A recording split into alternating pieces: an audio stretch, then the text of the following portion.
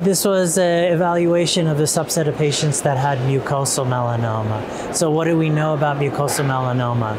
That they don't benefit as much from combination checkpoint as cutaneous and other types of melanoma. Uh, they have a lower response rate, a shorter progression free survival. We need to look at other options.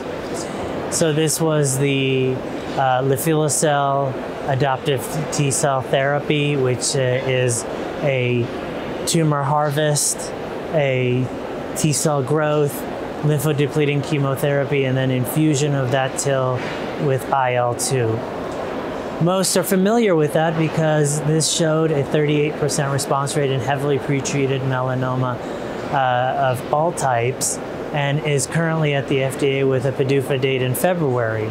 So this may be available to us. Uh, there are multiple trials looking at it in earlier line with PD1, and we're what we saw in the mucosal population 12 patients, uh, 12 patients that were pretreated with checkpoint, and we saw a 50% response rate.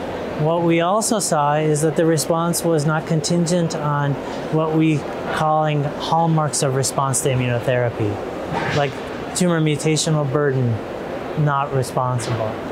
Uh, what if they were refractory or resistant, had no bearing on response? So that's extremely promising. It brings to us another tool for our patients with mucosal melanoma, which is a, one of the most difficult types of melanoma to treat given the morbidity of the disease.